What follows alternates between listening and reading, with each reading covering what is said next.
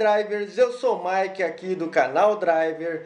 Já pega sua caneca de petróleo e você que é um driver maníaco, já deixa o seu comentário, já dê o seu like aí embaixo e confira comigo que rolou no 34º encontro de colecionadores aqui de Campinas, que ocorreu no dia 19 de junho.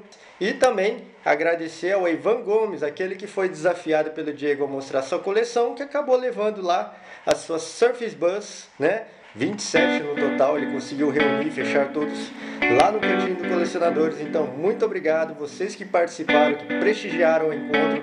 Muito obrigado e roda as imagens.